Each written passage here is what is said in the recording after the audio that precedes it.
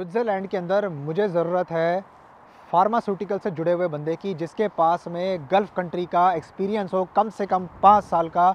इसके अंदर जो है स्किल्ड जॉब वाले ही जा सकते हैं। इसके अंदर कोई मेरा भाई ऐसे ही मुझे कांटेक्ट ना करे। वीडियो लाजमी पूरी देखे और उसके बाद में देखे कि स्विट्ज़रलैंड के लिए आप एलिजिबल हो कि नहीं हो।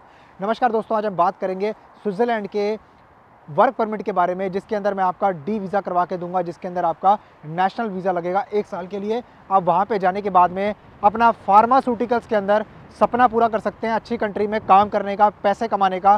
स्विट्ज़रलैंड के अंदर यूरो नहीं, उनकी अपनी करेंसी चलती है स्विस फ्रैंक, जिसकी वैल्यू बहुत ज़्यादा यूरो से भी ज़्यादा है। तकरीबन ये मान लो अब सौ को टच करने वाला है स्विस फ्रैंक। ये आप यहाँ पे अप्लाई करते हो, एक साल का आपको मिलेगा वीज़ा सबसे पहले, जिसके अंदर आपका जो वीज़ा होता है, तीन महीने का होता है दोस्तों। ठीक है वो शेंगन वीज़ा होता है। डिस्कस करेंगे पूरी डिटेल्स इस वीडियो के अंदर। दोस्तों, अगर आप चैनल पर नहीं हो तो वीडियो को लाइक करना है, सब्सक्राइब करना है, किसी मेरे भाई के साथ में शेयर करना है, उसके जानकारी बहुत काम आएगी, वीडियो काम आएगी अप्लाई कैसे करना है, इसके अंदर सारा प्रोसेस मैं बताऊँगा आपको आज। इंस्टाग्राम पर मुझे फॉलो कर सकते हो आई आपको नीचे मिल जाएगी। किसी मेरे भाई ने मुझसे बात करनी हो tourist visa counselling work permit किसी भी चीज़ के लिए हम सब कुछ करते हैं, आप मुझे नीचे जाके कमेंट के अंदर दिए लिंक से या डिस्क्रिप्शन में दिए लिंक से मुझसे कॉल बना के संपर्क कर सकते हैं। और कॉल पे आना आपकी जिम्मेवारी है।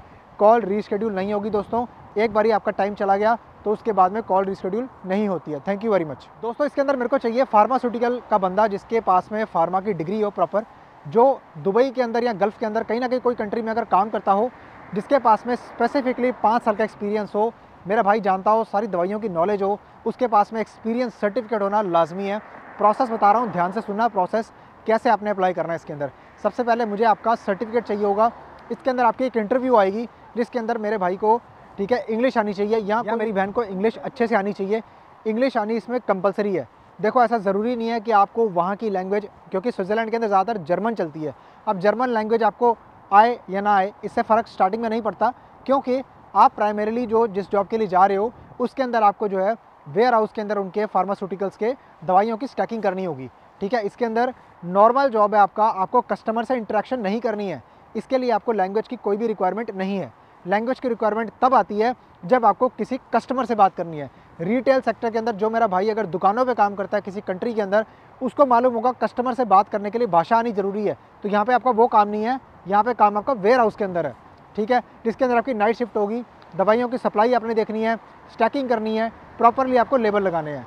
बहुत सिंपल काम है, लेकिन इसके लिए लाजमी है कि आपके पास में एक्सपीरियंस सर्टिफिकेट और इंग्लिश लैंग्वेज की नॉलेज अच्छी सी होनी चाहिए।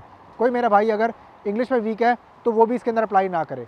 अब मैं इसको बताता हूँ, इसके अंदर आपके कपल्स या फिर मेल या फीमेल कोई भी अप्लाई कर सकता है, कोई दिक्कत की बात नहीं है। जिसको अप्लाई करना हो अप्लाई कर सकता है वो। इंग्लिश आनी ज़रूरी है फार्मास्यूटिकल्स के अंदर डिग्री बहुत ज़रूरी है। ठीक है, अब बात करेंगे, इसके अंदर आपको जो डी वीज़ा मिलेगा दोस्तों, जब आप स्विट्ज़रलैंड में लैंड करते हो, वहाँ पे आपकी टीआरसी बनती है। एक साल की आपकी टीआरसी होगी। इसके अंदर आपको जो सैलरी मिलेगी वो होगी तकरीबन साढ़े चार हज़ार यूरो। साढ़े चार हज़ार यूरो, यानी कि अप्रॉक्सीमेटली आपका जो है चार हज़ार चार हज़ार दो सौ के आसपास स्विस फ्रैंक लगा लो आप, ठीक है? क्योंकि करेंसी बड़ी भारी है स्विट्ज़रलैंड की। पाउंड को टच करती है। चेक कर लेना आप जाके। इसके बाद आपका रिन्यूअल का चांस क्या है वहाँ पे? अब बात करेंगे दोस्तों, एक साल की टीआरसी मिलने के बाद में आगे ऑप्शंस क्या हैं आपके? यार देखो, इसके अंदर वेरी लाइकली ऐसा है कि कॉन्ट्रैक्ट शायद आपका रिन्यू नहीं होगा। तो आपको जॉब बाद में अपनी खुद ढूंढनी पड़ेगी। क्लियरली वीडियो के अंदर बता रहा हूँ मैं ये बात।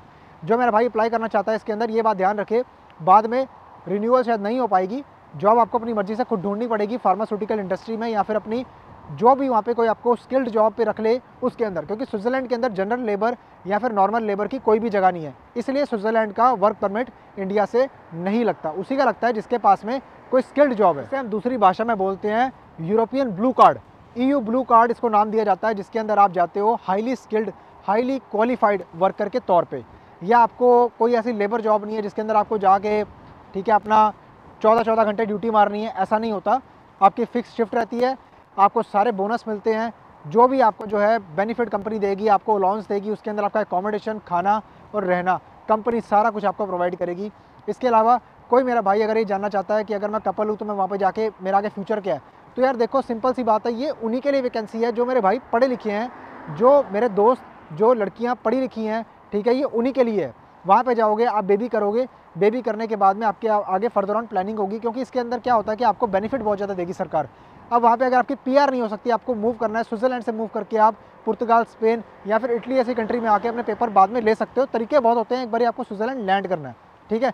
अच्छी सैलरी मिलेगी, आपका एक्सपीरियंस है इंग्लिश आती है टाइम ज़ाया मत करो। गल्फ़ कंट्री से पाकिस्तानी इंडियन भाई, नेपाली भाई, बांग्लादेशी भाई, कोई भी अप्लाई कर सकता है इसमें, लेकिन आपको लाजमी एक्सपीरियंस चाहिए इंग्लिश आनी ज़रूरी है। अप्लाई करने के लिए सिर्फ़ आपका पासपोर्ट चाहिए होगा पासपोर्ट कॉपी स्कैन चाहिए पूरी। आपका जो है सीवी चाहिए होगा यूरो पास का बना हुआ जिसका मैं लिंक आपको नीचे डिस्क्रिप्शन में डाल दूँगा। इसके अलावा आपकी एक फ़ोटोग्राफ चाहिए होगी वाइट बैकग्राउंड के साथ में, जो आप चेक कर लेना कि स्विट्ज़रलैंड के हिसाब से फोटोग्रा फ़ोटो का जो साइज़ है वो क्या रिक्वायर्ड है, वो आप उस तरह से खिंचवा के पीडीएफ बना के सारा कुछ मेरे को जो है ई करेंगे। नीचे मैं ई अपनी डाल दूँगा। डायरेक्टली ई करनी है आपने। किसी मेरे भाई ने अगर स्पेसिफिकली मुझसे बात करनी हो तो वो मुझसे बात कर सकता है। आपको सारा पेमेंट डिटेल्स का सब कुछ जो है, जब आप ईमेल करेंगे तो मैं आपको सारा कुछ बता दूँगा, क्या स्ट्रक्चर है पेमेंट का, कैसे अपने पेमेंट करनी है और कैसे अपने प्रोसेस अपना स्टार्ट करवाना है। तो कोई मेरे भाई, उसके बावजूद भी मुझसे बात करना चाहता हो, नीचे जाके मेरे साथ में कॉल बुकिंग बना सकता है स्पेसिफिकली बात कर सकता है, अपने डाउट सारे क्लियर कर सकता है। वीडियो अच्छी लगी हो तो लाइक करना है सब्सक्राइब करना है शेयर करना है, किसी मेरे भाई की जानकारी बहुत काम आएगी। इसके अलावा इंस्टाग्राम पर मुझे आप फॉलो कर सकते हो अपडेट्स के लिए और मेरा भाई मुझसे बात करने के लिए। डिस्क्रिप्शन में दिए गए लिंक या फिर कमेंट में दिए गए लिंक पर जाके कॉल स्लॉट बुक करो और टाइम बनाने के बाद में कॉल अपनी बुक कर सकते हो। मेरे साथ में बात आपकी हो जाएगी। थैंक यू वेरी मच दोस्तों, आपसे मिलता हूँ अगली किसी वीडियो में। शानदार कंटेंट कोई लेके आएँगे आपके लिए, बढ़िया जानकारी लेके आएँगे। तब तक के लिए दुआओं में याद रखना, बहुत सारा प्यार देना इस वीडियो को और आपके प्यार भरे कमेंट्स का मुझे इंतज़ार रहेगा। थैंक यू वेरी मच दोस्तों बाय